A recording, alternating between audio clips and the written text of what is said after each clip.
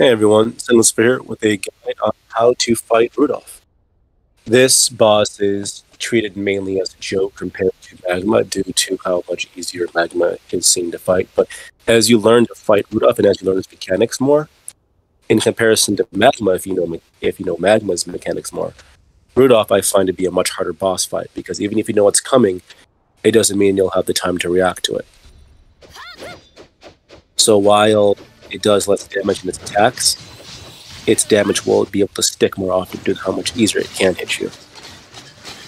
So we'll start off with, with its initial head swing move, right? If you're in, in close range, it will hit you for a decent amount of damage, and it's actually, I find, one of the hardest moves from its kit to Phantasia. Basically, what you do, it'll bring its head down when you see the red light appear as it's as long as you know the red light timings, as it's about to disappear, that is when you want to Phantasia or try to dodge it in order to activate said Phantasia.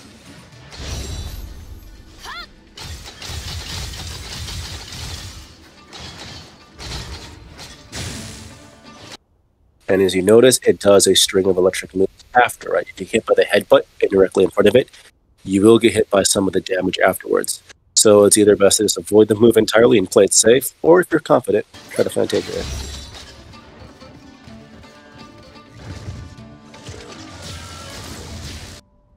So you're wondering why I use my Omnium hand cannon here. I did a little bit of practice against Rudolph in raid mode and forgot that its discharge move in world is much easier in comparison to its raid move. Right in raid, it'll, it'll drop closer to the floor, and then you'll have to activate all four corners or use Omnium hand cannon.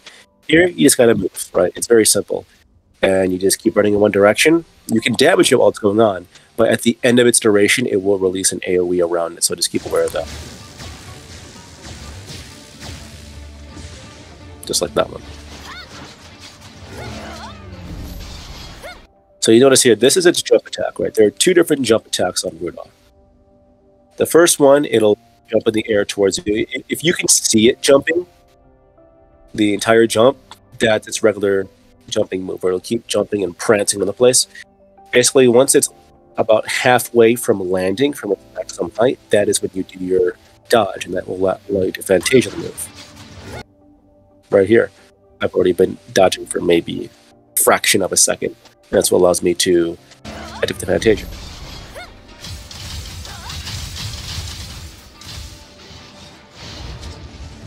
And so against other bosses, normally you'll dodge from side to side with this move and with some other moves on this boss, you will dodge in a circular motion, kind of like you are running in a circle together and you're chasing it and it's chasing you.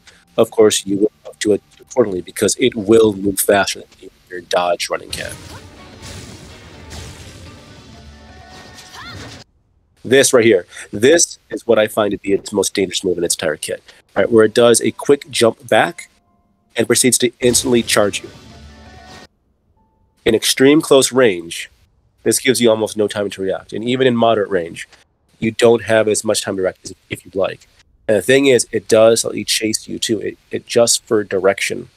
So if you get hit by it, it will chain stun you and keep hitting you backwards until it finally does its head swing in the end, and that will do a ton of damage. The head swing alone, for my health bar, probably will do at least three health bar, or at least that's the maximum amount of health I've had before I get hit by it and die, right?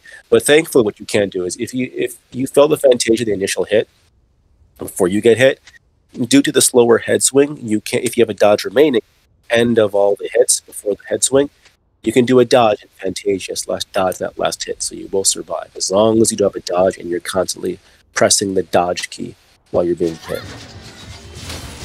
Of course, kind of like its prancing move, go in a circular motion as well right? So you have to kind of chase it in a way, but it's a lot easier to dodge in that regard because it doesn't it doesn't turn as easily nor as efficiently as when it does its prancing move. So it's also easier to dodge the head swing in comparison.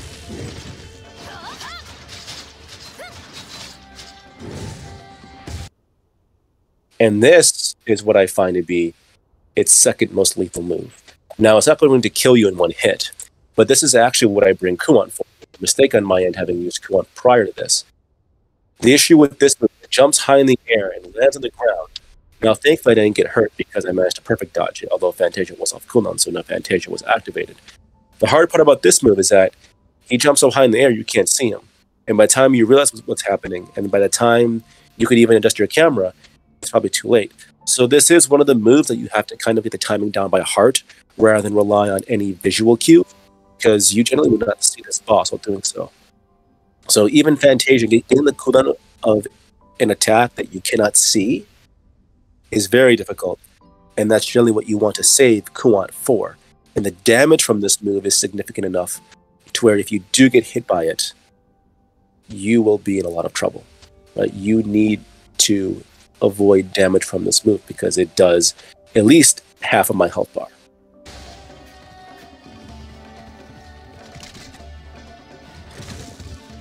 And right there, this is the other move it has, right? If you're behind it to a certain degree, this is the easiest move in this entire kit to dodge. It's not hard to Phantasia either. So there's not much of a point going about it. But it will just do a rear kick, right? You'll see it look behind. And then as soon as it looks forward, it'll do a rear kick. Relying on the red light will not really give you enough time to react. After all, you barely it's kicking as soon as the red light appears. So you have to rely more when you see it turn its head back. And then finally, it's rampage mode, right? So this guy does not cover rampage mode because as long as you're fighting it the right way, it should never enter rampage mode and stay in rampage mode for a certain period of time. If you try to fight this thing in rampage mode, it's a whole different ballgame. Damage. It has its one hit kill move that destroy you, right? This does not cover rampage mode because you should be fighting it around these points so that when it does enter rampage mode, you can activate it instantly and cool it down. One thing you can do, by the way, is that when it does enter rampage mode, and say that you aren't as close by one of these as you need to be, then you can run to one. Don't stand directly on top of it. But what Rudolph likes to do is that he is, if he's a certain distance that he has to run towards you, he will end up doing a jump, leap, strike attack. Right? He'll do the air on the ground. But if you have this, if you have the smoke cooling him down around it, as he jumps in the smoke, it will cancel his jump attack, and he'll slowly fall to the ground and enter his cooldown phase, and he'll be a free hit for that point. And that, quite frankly, is all you do about Rudolph. Those are all his moves. So if you have any questions, you can ask me in the comments, ask for any clarification, anything of the sort. Otherwise, it's just a rinse and repeat of every single move you've seen so far. Obviously, that move is the most dangerous move in the entire still, but Obviously, Rampage mode is the most dangerous you possibly ever enter. And if you try to if you try to solo that, you will struggle a lot. Of course, this move, right? I failed to use Kuon. That's why you saw how much damage did reinforce my health bar. It's a very lethal move that is hard to see and hard to react to. So make sure Kuon is for that.